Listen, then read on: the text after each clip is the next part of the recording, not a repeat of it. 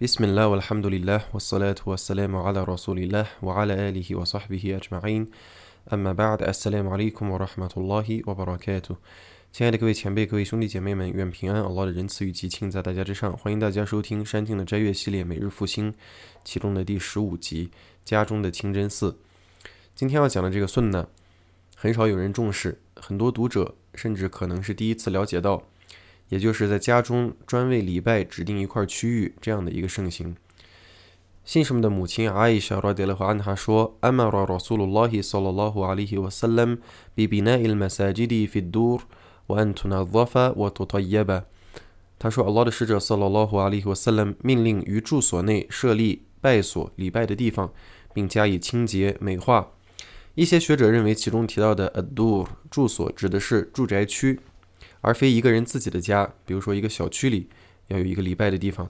而另外一些学者认为，这里的住所指的就是一个人自己的家。而第二种意见有 i t b a n Ibn Malik r a d i l a h 的传述的支撑，在布哈里当中记录。他说：“啊，我曾经给我的民众领拜。有一次，我到先知阿里·斯拉托斯拉姆跟前，对他说：‘Allah 的使者啊，我视力已减弱。’”我仍给我的民众领拜，但是下大雨的时候，我和他们之间的山谷中流洪水，我不能到他们的礼拜寺去给他们礼拜。他说：“Allah 的使者啊，我希望你能到我家中来礼拜，以便我把你礼过拜的地方当做一个礼拜点。”先知阿里·斯拉托斯姆谦虚地说：“艾法鲁，因沙阿拉。”他说：“若主意欲，我会这样做的。”第二天太阳升高时，Allah 的使者阿里·斯拉托斯姆和阿布巴克·拉迪勒欢呼就来了。Allah 的使者请示进来，我就请他进来。他刚一进屋，还未坐，就问：“Aina tuhibbu an usalliya min baytik？” 你希望我在你家中哪个地方礼拜？于是 Itban 给他指了屋里的一个角落。然后 Allah 的使者阿里·斯拉图斯兰念了 Takbir，大家站起来排起班子，啊，在先知阿里·斯拉图斯兰的带领下领了两拜后出了 Salam。而阿布巴克·拉迪勒哈努也有在家中指定位置礼拜的习惯。他的女儿阿伊莎·拉迪勒哈纳说。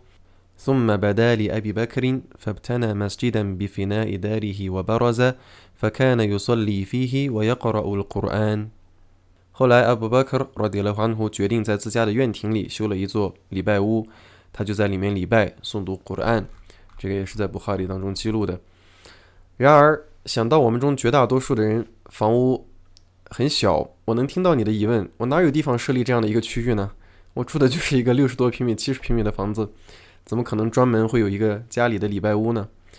但是其实这个区域并不必完全分离于你的房屋之外，不必要是一个单另的建筑，甚至不必要是单独隔出一个房间。即使你的家不大，其实你只要在家中确定一个专门用于礼拜的角落，有那么一片地方，就已经是 在践行这个顺纳了。你可以在那里放一个礼拜毯，一个方便拿取的古兰经架，并确保那里清洁芬芳且得到尊重。在家中指定这样一个礼拜区域，有难以数计的裨益。它可以鼓励你完善日夜的复工拜，就是你看到这个地方，就会提醒你去多礼拜。它可以是妇女专门礼拜的地方，男性在无力到清真寺参加主命拜距离的情况下，也可以在这里礼拜。这个地方也是全家人围坐诵读古兰、学习等活动的地方。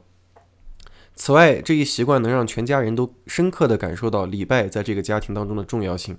所有家庭成员以及任何访客的内心，都会因为你对这一盛行的复兴而增加对礼拜的喜爱。Inshallah，感谢大家的收听 Jazakumullah khairan，Assalamu alaikum wa rahmatullahi wa barakatuh。